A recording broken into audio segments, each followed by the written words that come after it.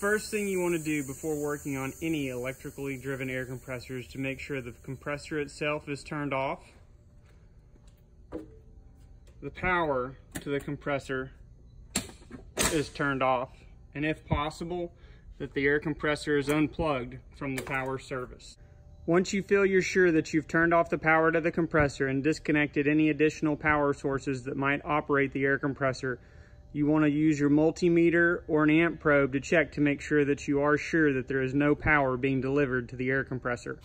Use your multimeter to make sure that you don't have any operational power going to the compressor systems. Once you have verified this, you can move on to the next step of draining the tank or system pressure to make sure that the compressor is safe to operate. Once you verify that the air compressor is turned off and all electrical power has been disconnected from the air compressor, you want to make sure that you drain the system pressure from the tank of the compressor where you're working with. Make sure that this pressure has been drained down to zero. You can check by checking your tank pressure gauge to make sure that it reads zero. You can also check by pulling the tank safety valve to also make sure that there is no pressure left in the tank. The tank safety valve is typically located somewhere near the gauge. Once you've checked all these things, your compressor is now safe to work on. In this video, we will repair or replace the minimum pressure check valve on an EVO 3 NK, EVO 6 NK air end.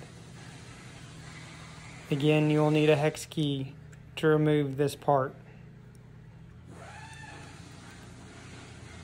Loosen all the screws to hand tight, knowing that there is spring tension pressure in the valve.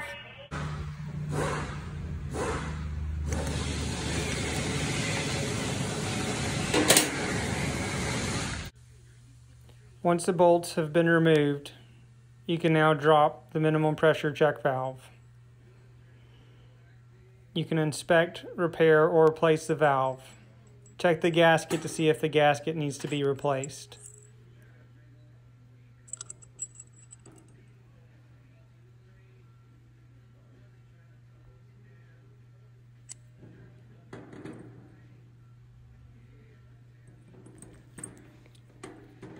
You'll put the valve back together in the same manner that you took it apart.